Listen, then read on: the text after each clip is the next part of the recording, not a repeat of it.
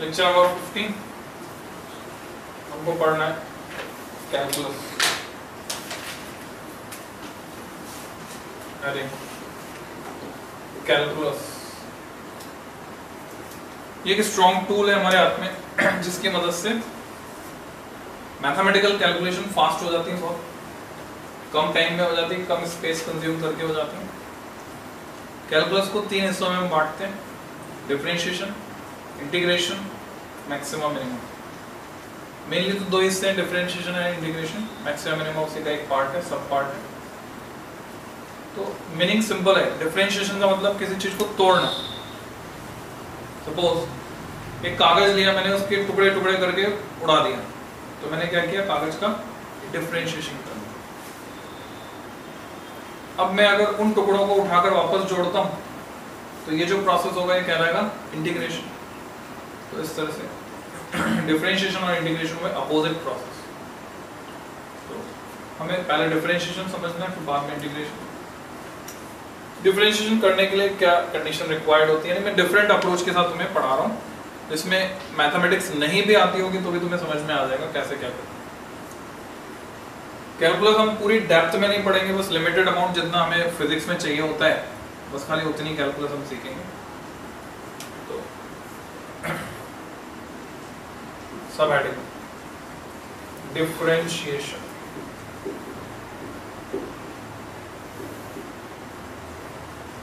जो नोटेशन अभी तक तुमने फॉलो किए हैं, उसमें अगर मैं किसी क्वांटिटी के आगे सिंबल डेल्टा लगा देता हूँ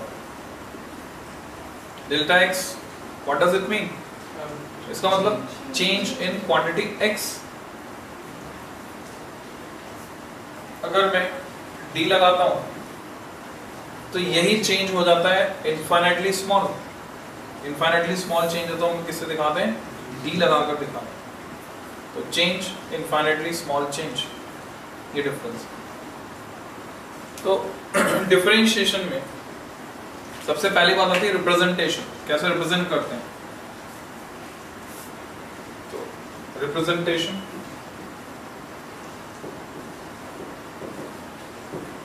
अगर मैं लिखता हूँ dy Y upon D X या मैं लिखता हूँ y डॉट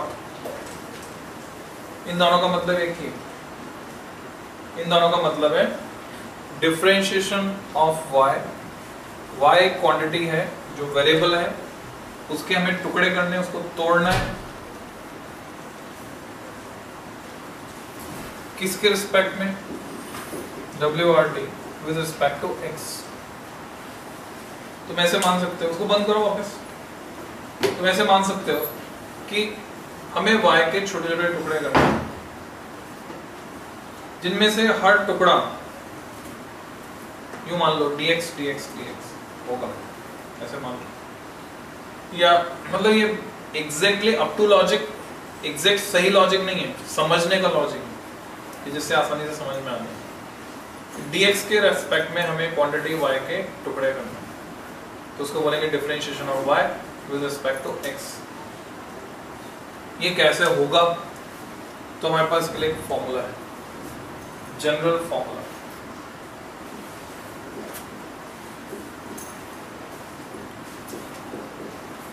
फॉर्मूला कहाँ से आया उससे हमें कोई मतलब नहीं? डायरेक्ट हमें फॉर्मूला तैयार करना है. अगर तुम किसी क्वांटिटी y का डिफरेंशिएशन किसी दूसरी क्वांटिटी x के रिस्पेक्ट में निकालना चाहते हो तो dy डी एक्स निकालने के लिए जो फॉर्मूला है हमारे पास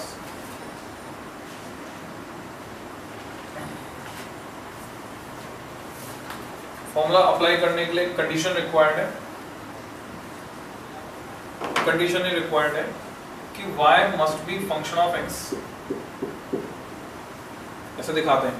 y x का फ़ंक्शन होना चाहिए, नहीं, y के वैल्यू x पर डिपेंड करनी चाहिए, तभी तुम ये डिफरेंशिएशन कर सकते हो। ये कंडीशन रिक्वायर्ड तो y अगर x का फ़ंक्शन है तो y क्या क्या हो सकता है?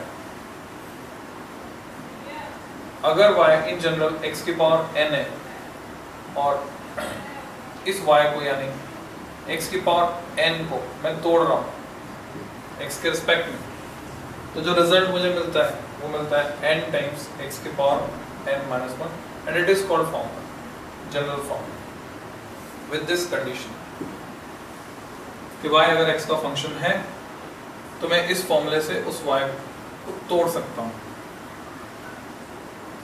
तो इस पर बेस्ड जो सिंपल एग्जांपल्स हैं तुम प्रैक्टिस कर सकते हो।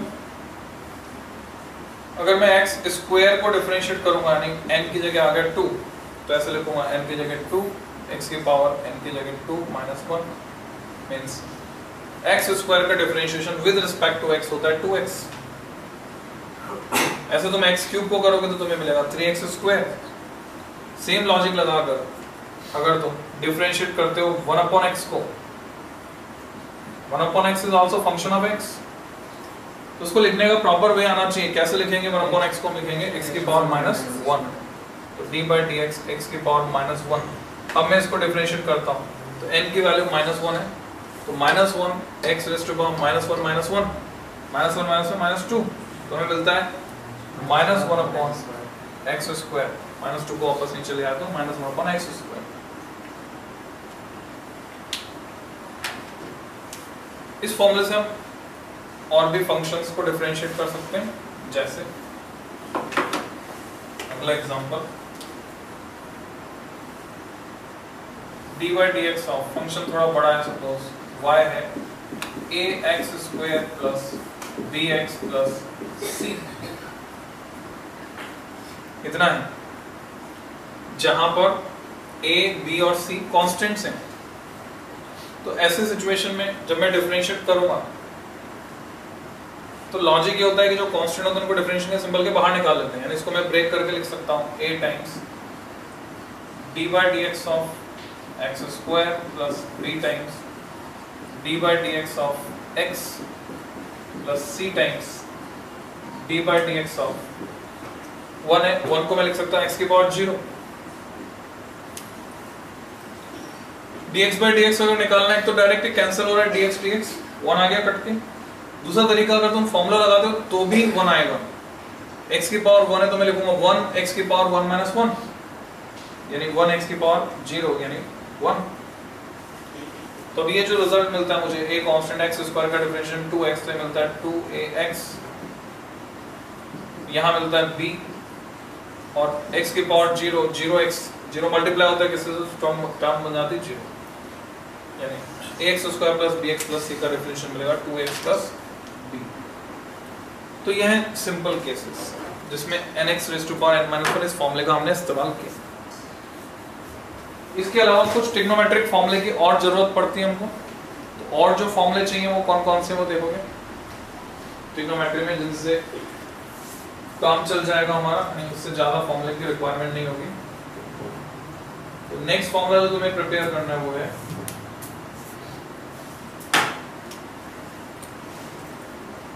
dy dx of sin x equal to cos x अगर मैं लिखता हूँ साइन थीटा तो sin थीटा को मैं एक्स के रिस्पेक्ट में डिफरेंशिएट नहीं कर पाऊँगा, फिर नीचे डी थीटा होना चाहिए। मैं d by d theta of sin theta लिख सकता हूँ cos theta dy dx of cos x ये होगा। Sin x पर नेगेटिव में होगा minus sine X D by D F D X of ten X वो हो जाएगा। कितना होता है? टेन थीटा का डिफरेंशिएशन कितना होता है? सेक स्क्वायर थीटा फिजिक्स में रेयरली कभी किसी क्वेश्चन में आगे तो आगे बढ़ना काम नहीं लॉगरिथमिक फ़ंक्शन तुम्हें तैयार करने D by D X of ln x it is 1 upon x अब तुम्हें क्लियर होना चाहिए, एक तो होता है ln x, एक होता है log x what is the difference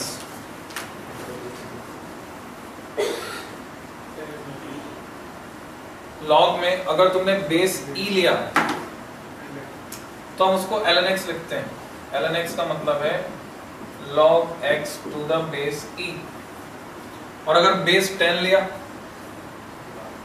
तो हम पूरा लिखते हैं log x means log x to the base 10 दोनों में क्या रिलेशन होता है वो तुम्हें आना चाहिए? 2.303 का फैक्टर जो है, वो मल्टीप्लाई करेंगे या डिवाइड करेंगे, कभी कंफ्यूजन हो जाए तो तुम्हें log 2 की वैल्यू रटी हुई होगी।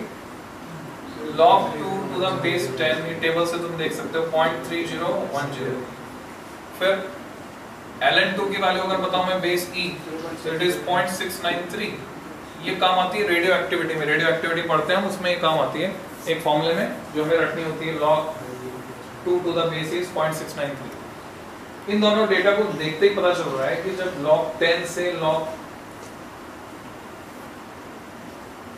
बेस ई में कन्वर्ट करेंगे। बेस 10 से बेस e में कन्वर्ट करेंगे तो we have to multiply with 2.303 तो रिलेशन क्या हो गया? log base 10 x into 2.303 equal log x to the base e. तो log के बारे में बताना चाहिए। तो अगर ln x यानी बेस e वाला लॉग है उसका डिफरेंशिएशन में लेता हूँ तो वो वन अपन एक्स होता है। ऐसे एक्सपोनेंशियल फ़ंक्शन वो भी रेयरली काम आता है। D Y D X of E raise to power X is E raise to power X and D Y D X of E raise to power minus X is minus E raise to power minus X ये दो function ऐसे हैं जिनका differentiation integration same होता है। Integration पढ़ेंगे तो integration भी यही होगा।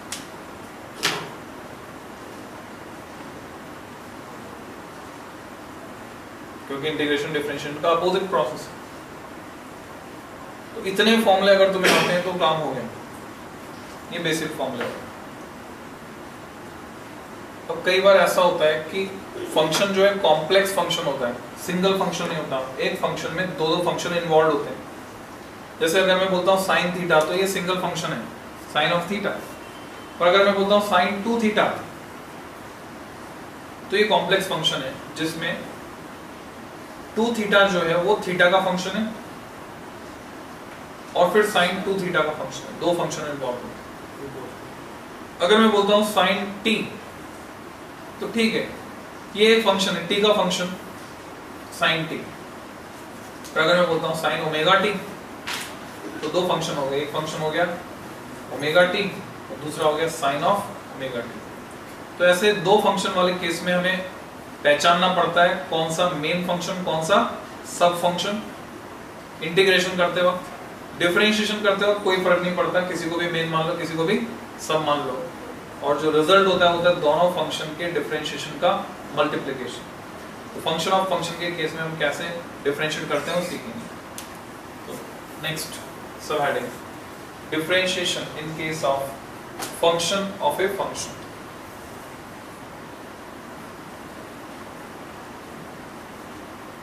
दो फ़ंक्शन इन्वॉल्व का मतलब एक ही फ़ंक्शन में दो function inbuilt differentiation in case of function of a function short में लिखना होता है ऐसे लिखते हैं F N F N function of a function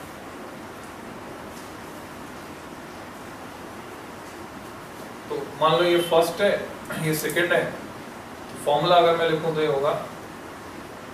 differentiation of मैं डॉट नोटेशन भी यूज़ कर सकता हूँ। Differentiation of first function into differentiation of second function. Dot notation में दिखाएँ। जैसे y डॉट दिखाया था तुम्हें? पहले लिखा था y डॉट लिखा था। y डॉट का मतलब क्या था? एक बार डिफरेंशिएशन अगर दो डॉट लगा देते हैं, उसका मतलब क्या होता है? दो बार डिफरेंशिएशन इस पे एग्जांपल देखते हैं। एग्जांपल जैसे, मान लो मुझे डिफरेंशिएट करना है sine of two theta theta के respect D by D theta of sine two theta तो कैसे डिफरेंशिएशन होगा? एक फ़ंक्शन है टू थीटा दूसरा फ़ंक्शन है sine two theta two theta को डिफरेंशिएट किया तो मिला मुझे two with respect to theta और साइन टू थीटा को करता हूँ टू थीटा को पूरे को एक्स मान लेता हूँ. तो साइन एक्स का होता है कॉस एक्स तो मुझे मिलेगा कॉस टू थीटा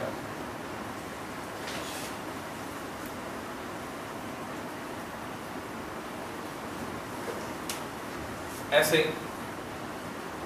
अगर मैं साइन स्क्वायर थीटा को डिफरेंशिएट करूँगा तो क्या मिलेगा? इसको दो तरह से डिफरेंशिएट कर सकते हैं। एक तो ऐसे कर सकते हैं कि साइन स्क्वायर थीटा को हम लिख सकते हैं sine theta into sine theta तो ये बन जाएगा product of two functions product of two function बनाकर प्रोडक्ट का जो फॉर्मूला भी आगे सीखेंगे उससे हम डिफरेंशिएट कर सकते हैं। अभी फ़ंक्शन ऑफ़ फ़ंक्शन में चल रहे हैं। बाद में सीखेंगे प्रोडक्ट ऑफ़ टू फ़ंक्शन में क्या करते हैं। उस फॉर्मूले से कर सकते हैं, और फ़ंक्शन ऑफ़ फ़ंक्शन से भी कर सकते हैं। फ़ंक्शन ऑफ़ फ़ंक्शन से जो डिफरेंशिएट करते हैं, उसको अगर लॉन्ग मेथड से समझाऊं लॉन्ग मेथड से भी समझाता हूँ। पहले शॉर्ट मेथड देखो, इसमें एक फ़ंक्शन है साइन थीटा और दूसरा है साइन थीटा का स्क्वायर ये दो फ़ंक्शन तो साइन थीटा का डिफरेंशिएशन क्या होता है? Cos थीटा और साइन थीटा को मान लिया x तो x के स्क्वायर का डिफरेंशिएशन क्या होता है? 2x तो साइन का जो स्क्वायर है साइन थीटा का, उसका डिफरेंशिएशन होगा 2 साइन थीटा cos थीटा आ गया, उसके अलावा आएगा 2 साइन थीटा तो ये बनेगा 2 साइन थीटा cos थीटा जिसका ट्रिग्नोमेट्री में फार्मूला बनता है साइन ऑफ़ 2 थीटा ये डिफरेंशिएशन का रिज़ल्ट बनेगा साइन स्क्वायर ये थोड़ी सी प्रैक्टिस हम कर रहे हैं। फिजिक्स में कैसे अप्लाई करेंगे वो आगे सीखते हैं।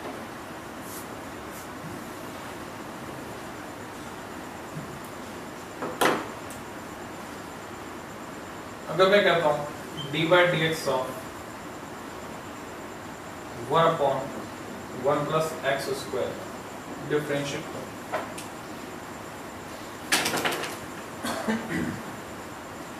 तो कैसे डिफरेंशिएट करो?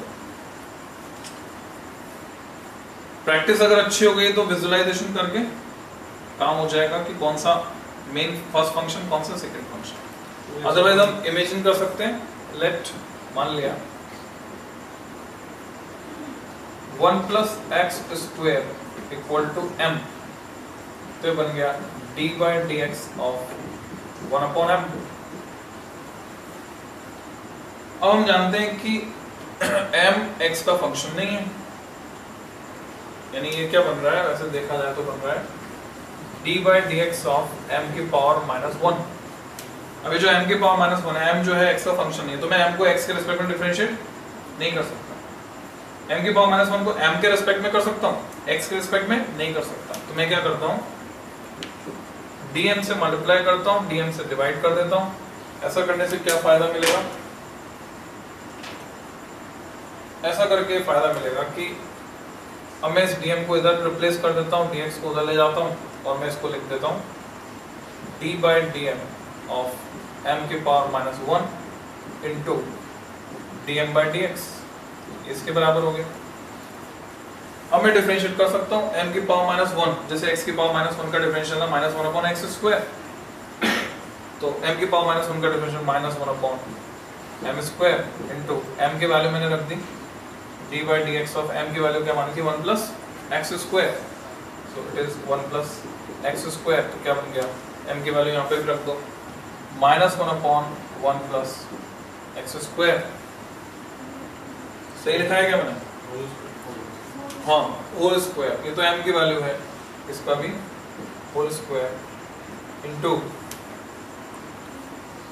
इसका डिफरेंशिएशन वन का ज़ीरो एक्स स्क्वायर का टू एक्स तो जो फाइनल आंसर हमें मिला, वो मिला minus two x upon one plus x square का whole square this will be the answer ये तरीका।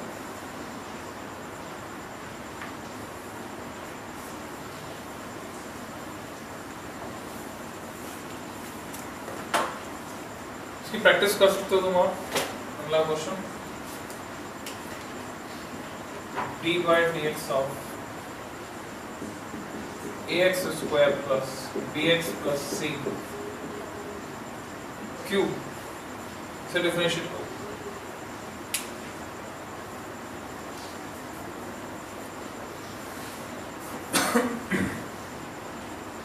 थ्री इंटू इधर लिखा हुआ है इसका square into a x plus b two a x plus b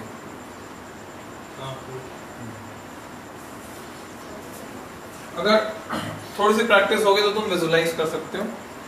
ऐसे कि इस पूरे को अगर मैं x मान लूँ तो ये x क्यूब है और x क्यूब का डिफरेंशियल थ्री एक्स स्क्वायर तो एक तो टर्म आ गई थ्री एक्स की जगह a x square plus b x plus c उसका स्क्वायर फिर जो सब फ़ंक्शन है वो है a x square plus b x plus c उसको मैं डिफरेंशिएट करूँगा तो two a x plus b वो इससे मल्टीप्लाई हो जाएगा into two a x plus b ये रिज़ल्ट आ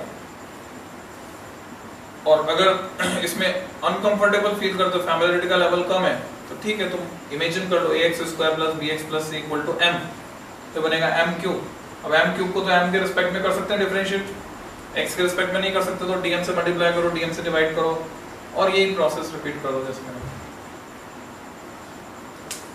तो थोड़ी सी प्रैक्टिस के बाद तुम्हें इसमें फैमिलियरिटी आ जाएगी और फैमिलियर लगने लगेगा।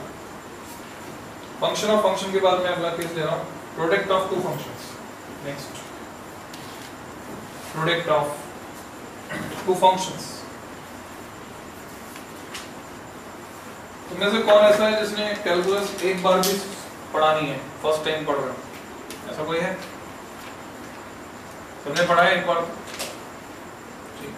प्रोडक्ट ऑफ़ टू फ़ंक्शंस सीधे फॉर्मूला देखते हैं प्रोडक्ट ऑफ़ टू फ़ंक्शन के केस में। D by d x of m into n condition क्या है? एम और एन एक्स के फ़ंक्शन होने चाहिए, तब हम डिफरेंशिएट कर सकते तो फॉर्मूला ये काम करता है कि एक बार एक फ़ंक्शन को ऐसे कैसे लिखो multiplied by differentiation of second function plus जिसको पहले डिफरेंशिएट नहीं किया था, उसको अब डिफरेंशिएट करेंगे dm by dx इनटू अगले फ़ंक्शन को डिफरेंशिएट नहीं करेंगे। ऑर्डर का हम ध्यान रखते हैं, अगर कोई वेक्टर क्वांटिटी है तो ऑर्डर मैटर करता है। वेक्टर नहीं है तो ऑर्डर मैटर नहीं करता। कि तुम n को पहले लिखो, dm by dx को बाद में लिखो, उससे कोई फ़र्क नहीं पड़ता, अगर स्केलर है। और अगर वो वेक्टर क्वांटिटी है तो ऑर्डर मैटर करता है, जैसा कि तुमने क्रॉस प्रोडक्ट में सीखा था। तो वहाँ ध्यान रखना पड़ेगा। इस पर बेस्ड अगर मैं तुमको बोलता हूँ क्वेश्चन एग्ज़ाम्पल तुम पता करो।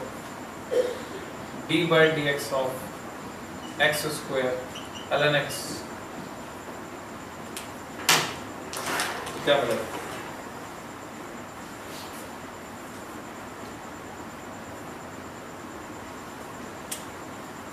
m की जगह x स्क्वायर और n की जगह ln x कैसे लिखेंगे first function x square multiplied by differentiation of second function ln x का differentiation 1 upon x plus first function का डिफरेंशिएशन x स्क्वायर का differentiation 2x multiplied by ln x common आ गया x बाकी बचा 1 plus 2 ln x. This is result कोई भी doubt है, पूछो क्लियर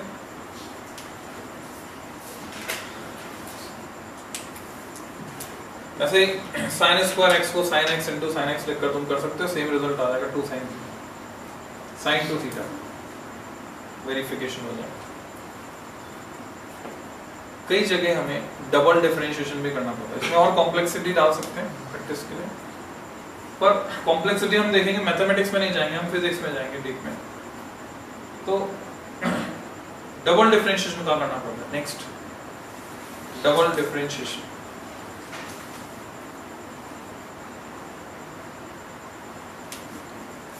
मतलब डिफरेंशिएशन का लास्ट केस में ले रहा हूँ, इतना डिफरेंशिएशन आता है तो सफिशिएंट बेसिक फॉर्म है बस इतना ही। जैसा नाम है, वही मतलब है। रिप्रेजेंटेशन तुम्हें सीखना है रिप्रेजेंटेशन क्या होगा? पहले मैंने dy by dx निकाला और अब मैं इसको फिर से डिफरेंशिएट करना चाहता हूँ। यानी इस क्वांटिटी का डिफरेंशिएशन तो मैं ऐसे लिखूँगा dy by dx और dy by dx इसका मतलब होगा d2y upon dx2 अब यहाँ तुम्हें समझना होगा कि dx सिंगल क्वांटिटी है। मैं इनको मल्टीप्लाई करके ऐसे लिखूँगा d2x2 dx is single quantity. D and x cannot be separated.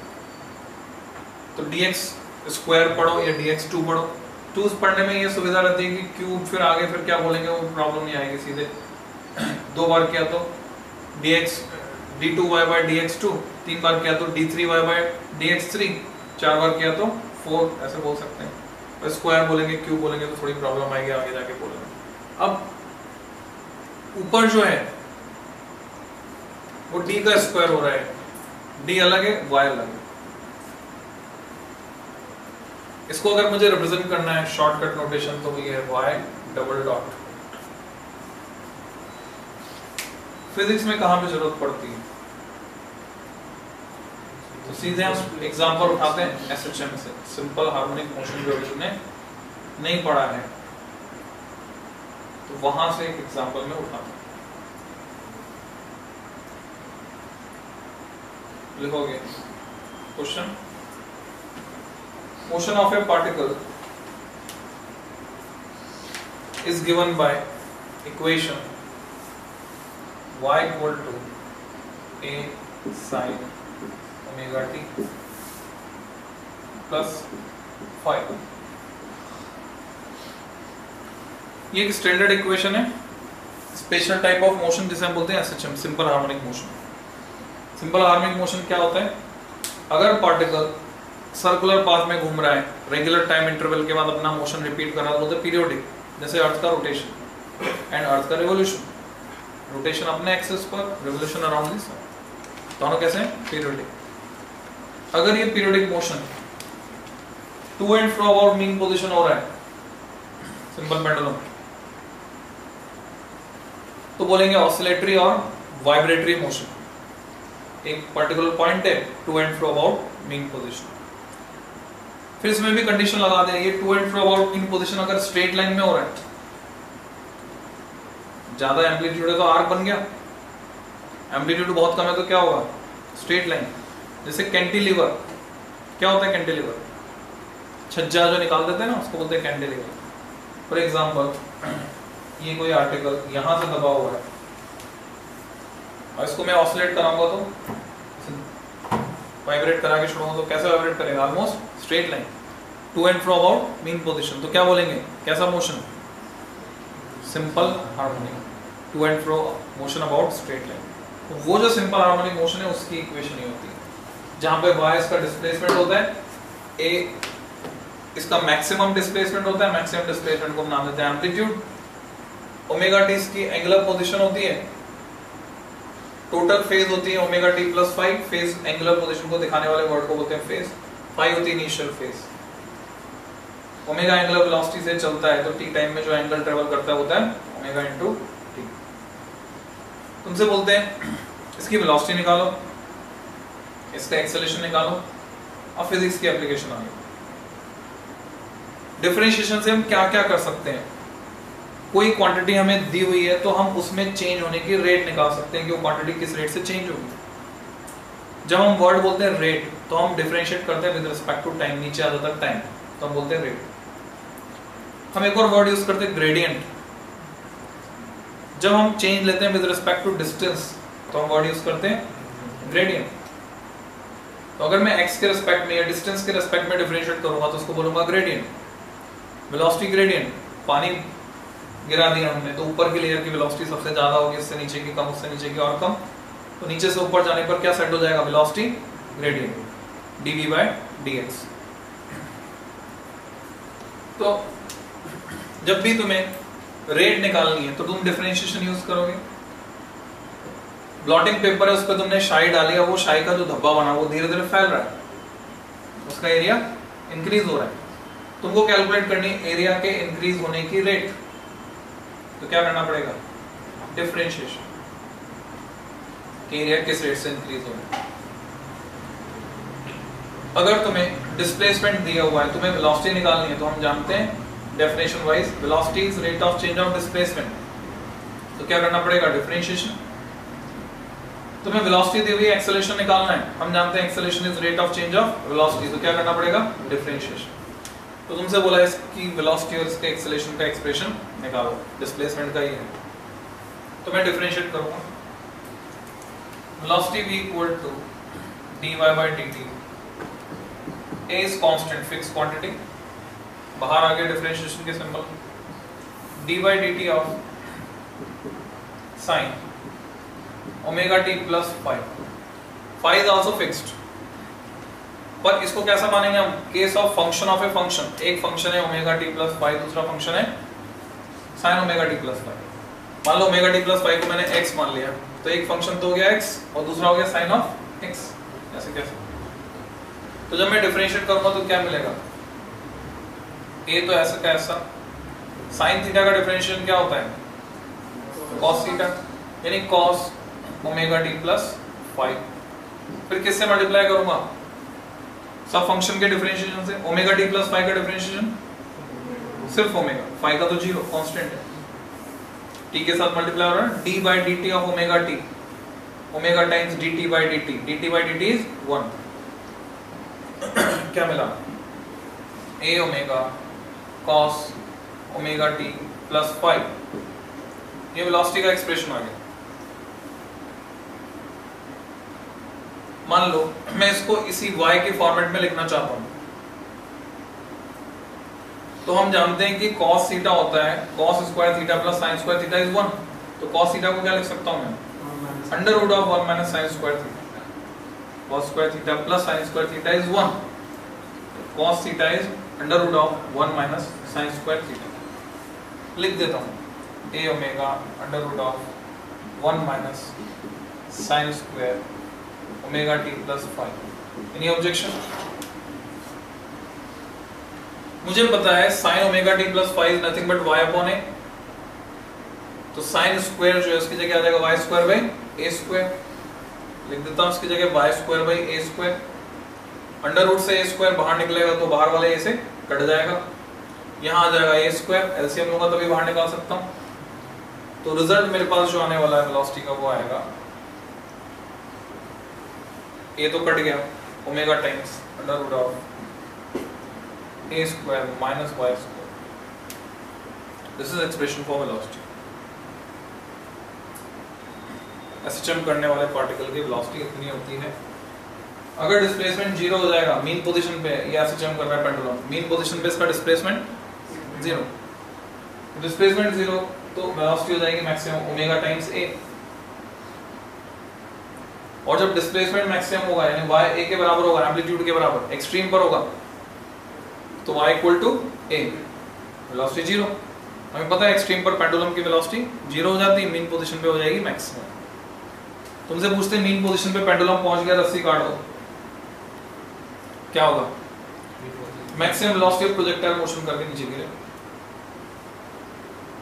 Parabolic path travel acceleration निकालो। A equal to d2 y by dt2 double differentiation, or d by dt of v. ये रहा v का expression a omega cos omega t plus five इसको differentiate करना है.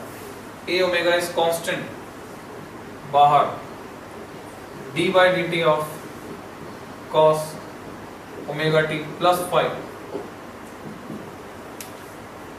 फिर से function of function एक फ़ंक्शन है cos थीटा है कि ओमेगा t प्लस फाइव यानी एक तो है cos omega t plus five एक है omega t plus five cos theta का डिफरेंशियल होता है माइनस sin थीटा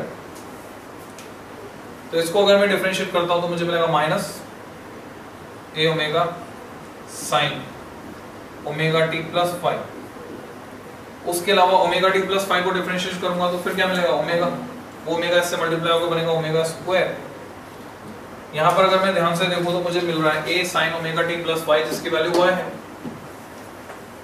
तो मैं लिख सकता हूँ minus omega square y so this is expression for acceleration of particle performing SHM जो पार्टिकल एसएचएम करता है, उसको बोलते हैं एसएचओ सिंपल हार्मोनिक ऑसिलेटर